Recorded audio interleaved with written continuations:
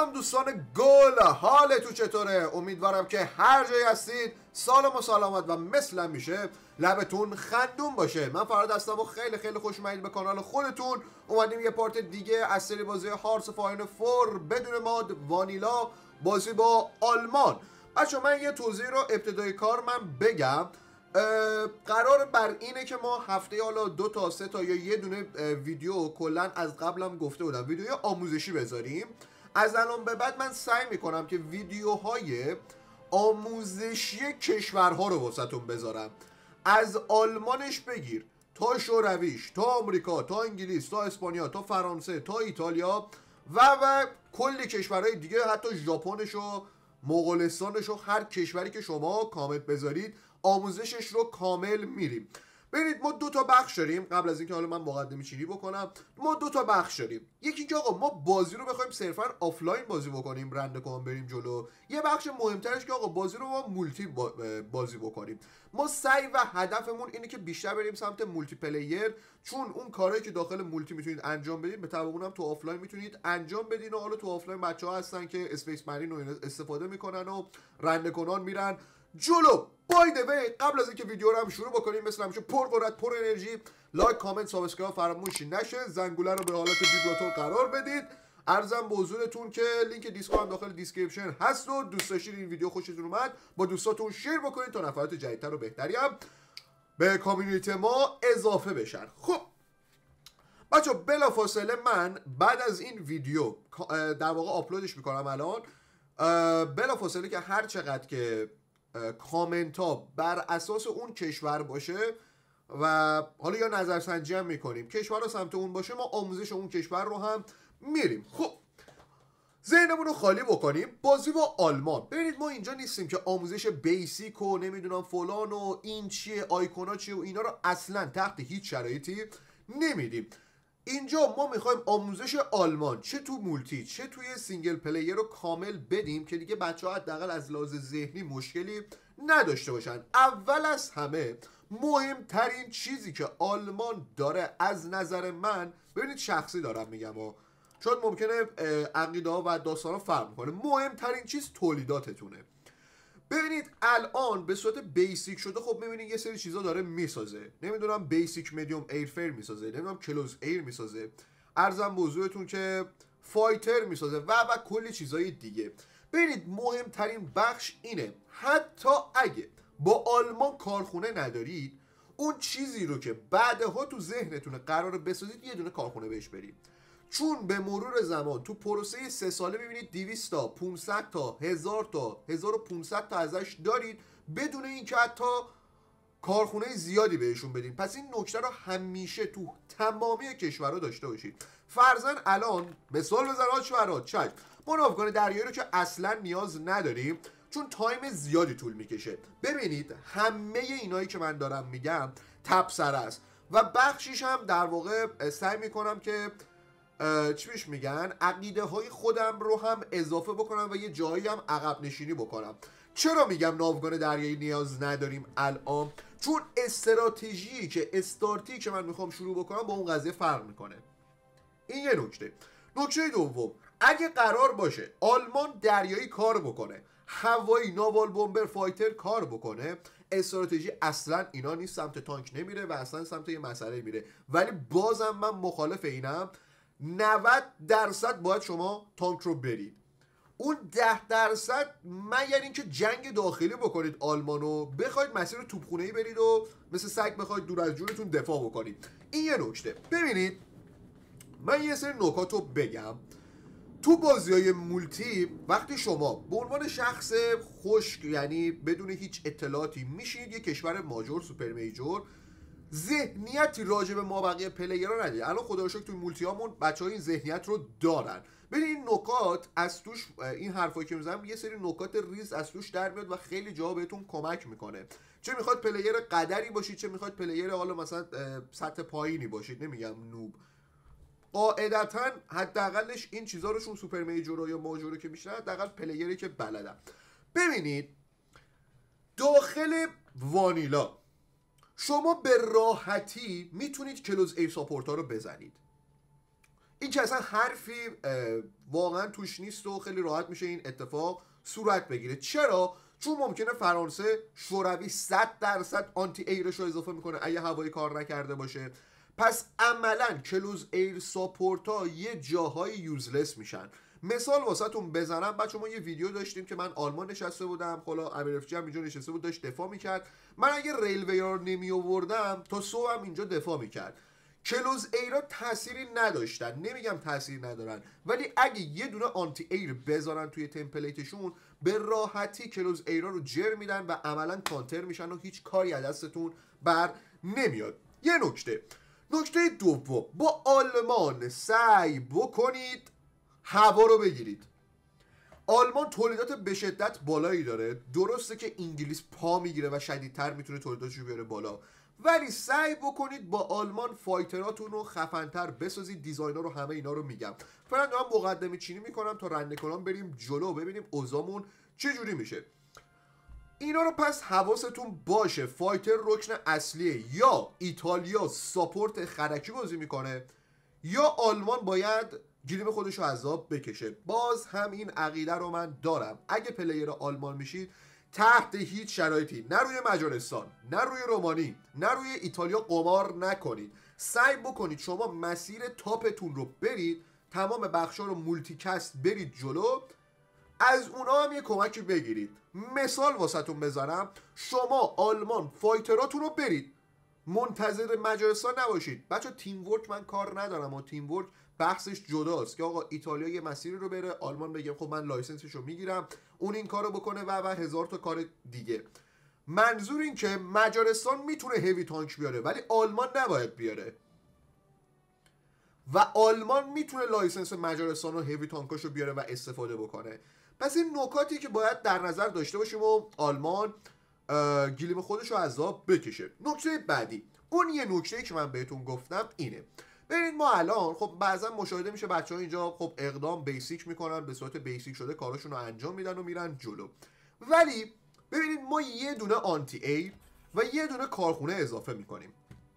حالا تا درصد اینم پر بشه ممکنه روزانه یه دونه به ما بده. ممکنه ها. شما به خودتون میاد میگید آقا مثلا فراد 1939 شده. هواپیما اوضاع بیریخته. منم کارخونه رو آنتی ایرام ندیدم. ریسرچاش هم نرفتم. اینجاست که میای می‌بینی خدایا شک شد. من هزار تا آنتی ایر دارم. از کجا؟ از یه دونه کارخونه که من اینجا دادم. نه آقا منابعی ازتون می‌گیره نه چیزی. به صورت بیسیک شده یه دونه بذارید. باز هم تکرار می‌کنم.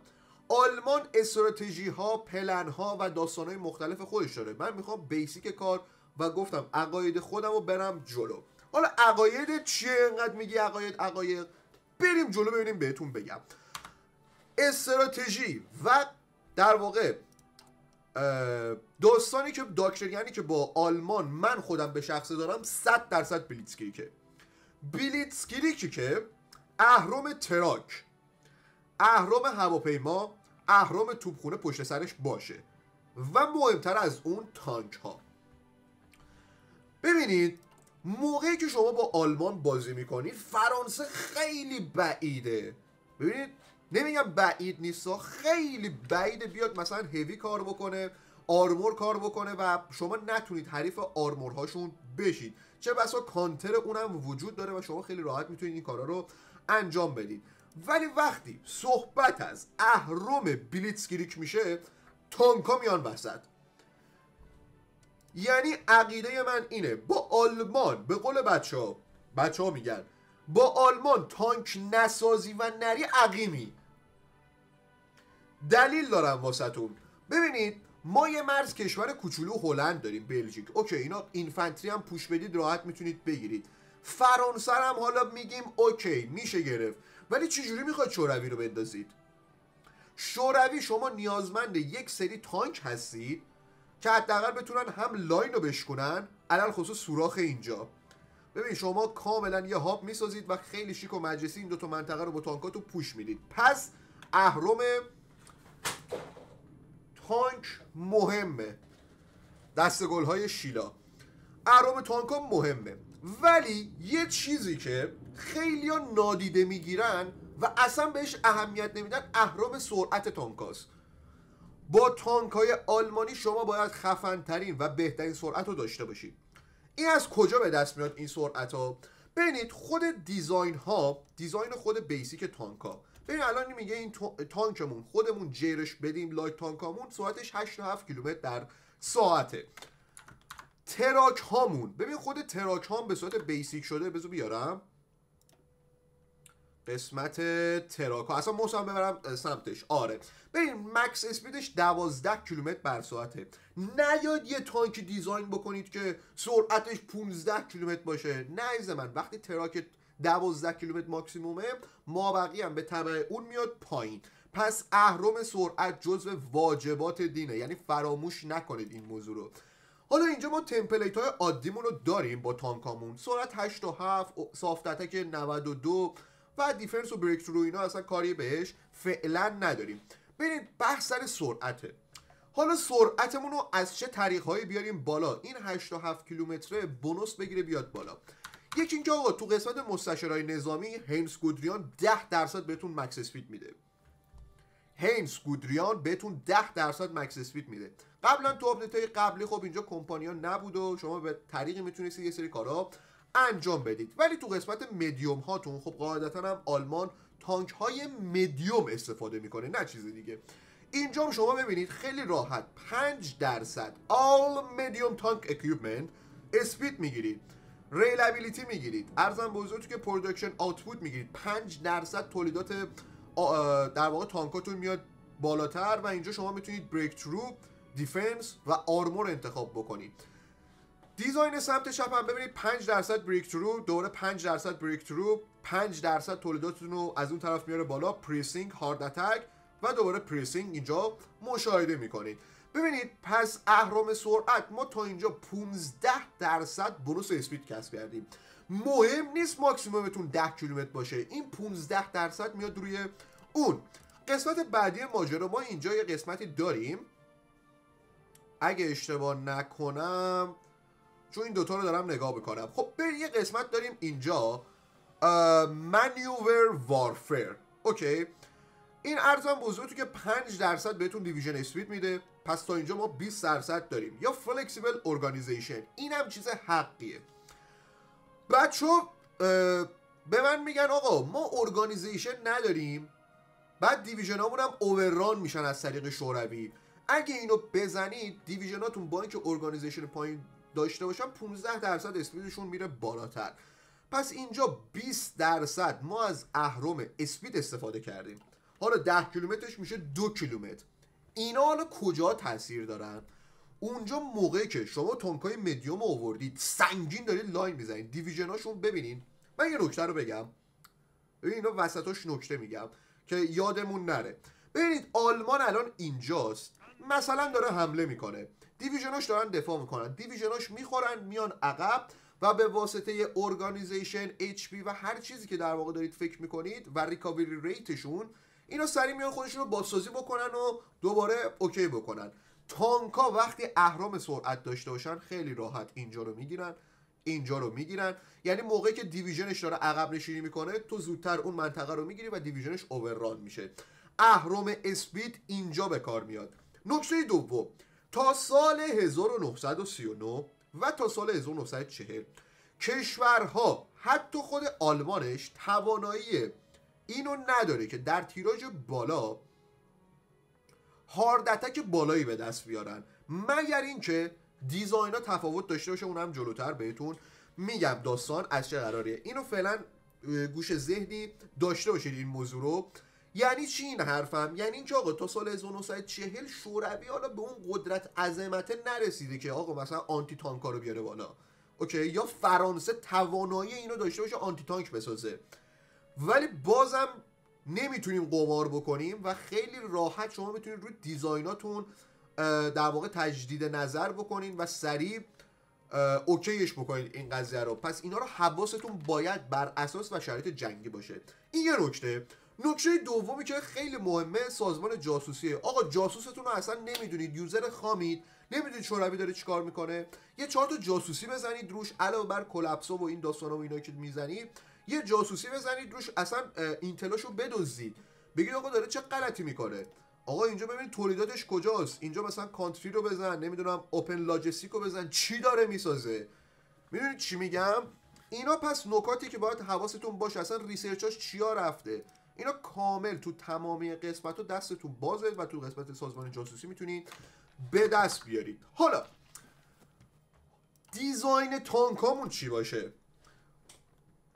بچه update جدید combat width ای جدیدی هم اوورده قاعدتا حالا من اگه شد یه دونه واسهتون چی بهش میگن؟ یه دونه کاغذ صفحه کاغذ نشون میدم. کمبت ویدا رو تو شرایط مختلف نشون میده که کمترین بونوس ضرری یا بیشترین میزان رو داشته باشن. بعضا بچه ها میگن آقا اینفنتری اگه کمبت وید 20 داشته باشه هولو نه آقا همون کمبت وید 20 واسه اینفنتری های ساده نیروهای زمینی ساده ای که داریم یا 18 ممکنه بدترین و آشغالترین کمبت وید تاریخ باشه. پس اینم در نظر بگیرید. بستگی داره منطقه‌ای که می‌خواید حمله بکنید. لاجستیکی که می‌خواید حمله بکنید. استراتژی منطقه‌ای که می‌خواید حمله بکنید چجوری باشه؟ و بعضا بچه ها همه اینجا رو می‌گیرن ولی تو شوروی به مشکل می‌خورن. اینا رو داشته باشیم. دیزاین تانک ها. تانک ها باید تا سال 1939 یعنی تا قبل از سال 1940 یک روز مونده تا سال 1940 باید از اهرم سنگین و وحشتناک soft attack استفاده بکنن. یعنی هر جوری شده شما هر کاری می‌خواید بکنید تانکاتون design اشون باید روی soft attack باشه. از سال 1940 به بعد رویه عوض میشه. شوروی ممکنه در واقع hard attack کار بکنه که soft attack تون دیگه useless بشه. میگم بر اساس شرایط game باید به جلو. همین الانش تانکای light آلمان 24 تا hard attack دارن 92 تا soft attack چرا میگم soft attack مهمه؟ ببینید سمت فرانسه ببین خیلی مهمه که شما بتونید اول از همه فرانسه رو بندازید و تو باطلاق fort اش گیر نکنید. یه background داشته باشیم واسه fort ا. ببینید شما وقتی فرمانده میارید بالا من حالا یه چند تا فرمانده جدا بکنم. سه تا فرمانده. میاد اینجا رو فرماندهتون می‌زنید. یه کلیک می‌کنید. E N G. سه تا فرمانده بهتون نشون میده. این سه تا فرمانده ای که در واقع شما مشاهده می‌کنین در واقع این فرمانده ها بونوس انجینیر دارن. یعنی چی؟ یعنی که آقا شما اگه fort باشه داستان باشه شما bonus مثبت می‌گیرید. الان بذارید من یه سری چیزا اضافه بکنم. XP مثلا 200 CP مثلا 200 خب بریم اینجا. من روی design اینجا دوباره search می‌کنم ENG ببین سه تا فرمانده رو دارم. من میام به جای اینکه مانشتاین رو فرمانده زمینی بکنم به صورت عادی میام promote ش می‌کنم تا field marshal بشه. field marshal ی رو بهش میدم. اینجام در واقع دوباره search می‌کنم. engineer دو تا فرمانده عادی داریم. فرقی نمی‌کنه کدوم field marshal می‌کنین و اصلا فرق نمی‌کنه. معمولا این شخص رو field marshal می‌کنن چون bonus winter هم میده واسه شوروی به کارمون میاد. حالا آچفراد اینایی که کردی چی هست؟ داستان چیه؟ میایم اینجا تو قسمت upgrade کردنشون. اینا یه bonus ی دارن به اسم fortress buster. 15 درصد اتک فورت رو میاره بالا. یه 15 درصد تو جیبمون داشته باشیم. و اینجا یه بونوس می‌گیره که بچه ها ابیلیتی بهتون میده تا 200 درصد بونوس سنگین و 20 درصد عدد که سنگین به فورتا وارد بکنید. پس این هم چیز حقیه. این یه نکته. میایم فرمانده بعدی. فرمانده بعدی هم یه 15 درصد بهش میدیم. این 15 درصد با اون 15 درصد 30 درصد شما بونوس اتک به فورت رو دارید. ببین اینجا نوشته دیگه. fortress buster 15 درصد. و به واسطه field marshal تون هم 15 درصد اینجا می‌گیرید و رو هم stack میشه. یه نکته نکته بعدی. خب قاعدتا شما باید واسه اینکه حتی بتونید خط اصلی هم بزنید اینا رو هم میارید و damage ای به شدت سنگین رو هم از طریق این railway gun ها هم وارد می‌کنید. پس عملا شما حتی بگید okay فورت ده رو هم اینجا شما به راحتی می‌تونید پوش بدید و با اهرام کلوز ای رو و هواپیما و اینا به راحتی آقا اینجا رو میشکنید میرید جلو. از بونوساتون هم استفاده می‌کنید. اما یه تبسره و یک نکته خیلی مهم. متاسفانه مشاهده شده بچه ها میان چیکار می‌کنن؟ 24 تا 24 تا دیویژن جدا می‌کنن و این بونوس ها کمند پاولا رو استفاده می‌کنن. یعنی چی فراد؟ آقا یعنی اینکه اگه من 15 تا دیویژن داشته باشم این نکات رو هیچ کسی تو ایران حتی بهتون نگفته. من بهتون میگم 15 تا دیویژن دارید؟ ببین خیلی ساده است و خیلی هم می‌دونن این نکته رو. پس اینم داشته باشیم. بحث این نیست که آقا من بلدم بلدم نه. این نکاتی که خودم هم حتی تو ویدیو نگفتم و اولین باری که دارید میشنوید. ببینید ما الان با 15 تا دیویژن که الان اینجا داریم ما باید 35 تا command power بدیم تا bonus attack بگیریم. خب مگه قرار چقدر command power renew بشه تا اوضامون روال‌تر بشه؟ حالا اگه من فرضا این division رو جدا بکنم یه division جدید حالا فعلا بدیم مثال میگم اینجوری. ولی با این سه تا division شد 6 تا. شد 6 تا دوباره. fort attack مون شد دو و هفت. یعنی عملا شما با این سه تا تانکا و تمپلیت ده تایی کمند پاور کمتری می‌دید و هفت روز متفاوت شما می‌تونید پشت سر هم بونوساتون رو انقدر اسپم بدید تا آخرش اون فورته بیفته. اینم گوشه چشمی داشته باشید. حواستون به این نکته باشه. نه یا تمپلیت 24 تایی رو اتک بدید. الان ببینید من اینا همه رو یکی می‌کنم. ذاتن 6 تا دیویژن جدا می‌کنیم. چون ببین 55 تا کمند پاور این اصلا باز نمیگرده. یعنی طول می‌کشه. یعنی من اگه با 24 تا دیویژن تو این خط بزنم به جای این که بیام مثلا سه تا دیویژن مثلا 10 تایی این کارو بکنم ارزشش بیشتره. همه دارن با بونوس سنگین حمله می‌کنن. پس این نکته رو هم مد نظر داشته باشید بهتون کمک می‌کنه. ولی اینا در واقع basic ماجرا بودن. که آقا حواسمون باشه اگه fort ساختن هواپیما ساختن چیکارا بکنیم چیکارا نکنیم. بازم میگم قرار نیست این part و طولانی باشه. part و کاملا شیک و مجلسی آموزشیه و ازش قرار چندین part متفاوت بذاریم. اگه نکته چیزی هست حتما کامنت بکنید. واسهتون روالش می‌کنیم. ولی میایم اینجا. research آن آیکون کلیک استراتژی جنگی با آلمان. اگه بازی historical باشه از لحاظ focus tree ا که okay حله. یکی از نکاتی که به شدت مهمه بحث timing focus tree است که به مراتب واسه شوروی جزو واجبات دینه. بچه با شوروی گاهی اوقات به خودتون میگید من حتی به مانی با چی نشسته بودم دیگه live شو دیدین دیگه. گفتم الان چی برم؟ الان چی به کار میاد؟ خب چون آقا تجربه نداشتیم و بازی نکردیم این مشکل به وجود میاد. ولی اهرم اصلی اینجا چیه؟ اهرم اصلی بچه ها اینه که شما در اسرع وقت political power به دست بیارید. با گرفتن political power مستشار بیارید و روزانه political power بیشتری رو به دست بیارید تا بتونید خیلی کارا رو انجام بدید. استراتژی ها متفاوته. باز هم میگم همش سلیقه‌ایه. یکی دوست داره آقا آنچولوس رو راش بده. اسپم دیویژن میده سلاح می‌سازه و سریعتر آنچولوس رو میاد و دیمند چکسلواکی رو میده و و و چیزای دیگه. یکی میگه نه واسم مهم نیست. چون ای آی واسم داخل چکسلواکی و اتریش ساخت و ساز می‌کنه اگه من فرزن دو سال سه سال دیگه این کارو بکنم خب به تب کارخونهای بیشتری واسم ساخته و از این طرف هم سود می‌کنم ولی های ریسکه چون بازیامون non-historical ه بچه کلیک می‌کنن چکسلواکی ممکنه سودتلند رو بهتونم نده. پس اینا رو هم گوشه چشمی داشته باشید. قسمت بعدی که جز واجبات دینه این قسمته که شما آقا قرارداد تانکیتون رو هر جوری شده حتی اگه شده برید با شوروی مذاکره بکنید بگید آقا ما واست می‌خوریم. خیلی عذر می‌خوام واست می‌خوریم. اینو okay بکن. ما با هم رفیقیم فلانیم. هر گول زدنی میشه اینا okay بکنید. اگه قبول نکنه دو تا کشور مثل پشم میان پایین. هم شوروی هم آلمان. یعنی فکر نکنید آلمان شوروی اینو قبول نکنه بگه وای من خفن عالمم. KV یک و تانکای مختلف که در واقع اینجا بهتون میده. پس اینو حتما برید. یه نکته دیگه تو جنگ اسپانیا خب سریعتر شرکت بکنید army experience بگیرید.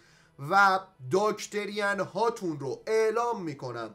doctrine هاتون رو تحت هیچ شرایطی نزنید.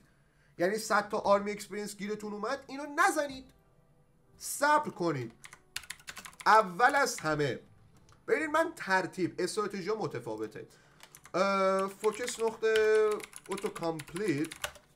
ببینید اول از همه که رینلند رو باید برید. حالا چرا؟ به علت اینکه 120 تا political power میده و 5 تا army experience و یه کوچولو هم تنش رو میاره بالا. استراتژی چطوریه؟ شما می‌تونید اول از همه خیلی شیک و مجلسی واسه اینکه تا قبل از سال 1939 همه اینا رو تکمیل کرده باشید و توپتون پر باشه واسه اولین بار شما می‌تونید این شخص رو بیارید. مارتین بورمن. اوکی مارتین بورمن رو می‌تونید بیارید یا اینکه جوزف گوبلز رو بیارید. war support تون بیاد بالا و با political power بعدی که گرفتید خیلی راحت war economy رو باز بکنید. اینجا استراتژی خیلی مهمه. اینجا شما میاد من به شخصه میام این کارو می‌کنم. میام اینجا در واقع این این بنده خدا رو میارم که حالا دو نیم درصد هم heavy fighter امون رو میاره بالا که اصلا نیازی بهش نداریم. و این شخص ببینید ما الان عملا سی درصد bonus پوتکال پاور گرفتیم. این یعنی اینکه مشکلی واسه هینز گودریان مشکلی واسه اروین رومل و مشکلی از اینکه کانوی ریدینگ بکنیم و 200 کمند پاور، پاور بدیم نداریم. بعد از این قسمت ها شما خب خیلی شیک و مجلسی اتک در واقع بونوس اتک می‌خواید. پس این هم تیکشو می‌زنید 10 درصد دیویژن اتک به دست میارید و رندکان میره این بیسیک ماجرا شد. هرچند که این شخص رادولف هس ممکنه بمیره بر اساس خانه هوایی این هم حواستون باشه. این یکی از استراتژی ها و مسیرهایی است متفاوته. یکی میگه آقا جهنم و ضرر اصلا واسم مهم نیست. رینلند رو بشوش توش من four year plan رو میرم. همونجا 75 تا political power م هم جور میشه. و بلا فاصله من یالمار شاخت رو میارم تا 10 درصد bonus civilian بگیرم. این کارم می‌تونید بکنید. یا اصلا میگید آقا جهنم و ضرر. من rush civilian م رو میدم تا research slot مو باز بکنم.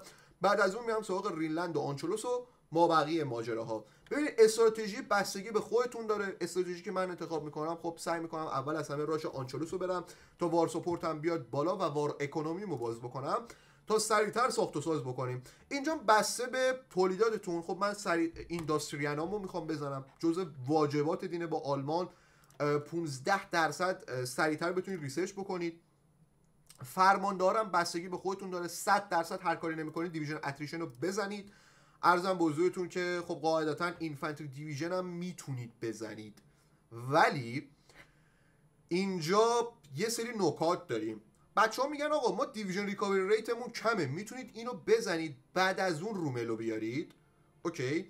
یا اینکه نه. بگید آقا این خیلی خفن تره ما اصلا نیازی نداریم. 10 درصد division attack هم اینجا بگیریم.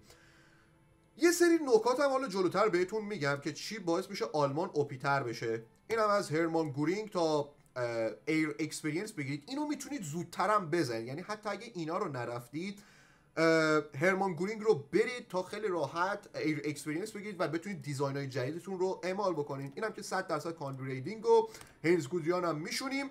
حالا یه نکته که داشتم می‌گفتم این بود. doctrine هاتون ببینید ما الان هینز گودریان رو آوردیم 15 درصد army experience کمتر. یعنی ما الان 85 تا army experience بیشتر نمیدیم. ببینید army experience جمع شده. جهنم و ضرر. بذارید جمع بشه. نزنید. ببین من یه دونه اینو می‌زنم. هیا. میام تو قسمت doctrine. ببینید 35 تا. چرا عاقل کند بازارت به کنان غم بخور؟ با 35 تا army experience راحت. دو تا دونه شو من می‌تونم بزنم. دو تا دونه شو. اولی دو تا دونه ایه. دقیقا. اولی دو تا دونه بهتون میده. دو تا 50 درصد. دومی هم که قرارداد تانکیتونه. این دیگه بهتون bonus مثبت نمیده ولی آخری دوباره دو تا 50 تا بهتون میده. دو تا 50 تا یعنی اینکه عملا شما این مسیر تا اینجا رو 70 با 140 تا army experience handle کردید. به جای که 400 تا. گوش بکنید خوب. به جای که 400 تا army experience بدید فقط با 140 تا handle ش کردید. این خیلی مهمه. و چه بسا قبل از اینکه جنگ جهانی دوم شروع بشه شما این قسمت رو باز کردید و خیلی شیک و مجلسی blitzkrieg اصلیاتون هم میرید جلو.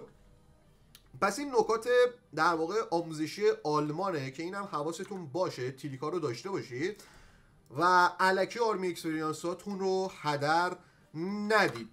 میگم چون بچه قضایا فراره من دوستم اینا پارت های مختلفیه که واسهتون تولید می‌کنم واسهتون اوکی می‌کنم. آموزش آلمان لهستان شوروی ایتالیا انگلیس آمریکا اسپانیا همشون navy شون و اینا رو اوکی می‌کنیم. اما template های آلمان. سوال مهم و جذاب انگیز آلودیه که همه اکثرا می‌پرسن. آقا اینو چی بسازیم اونو چی کار بکنیم؟ چه کاری انجام بدیم؟ تمپلیت چی باشه؟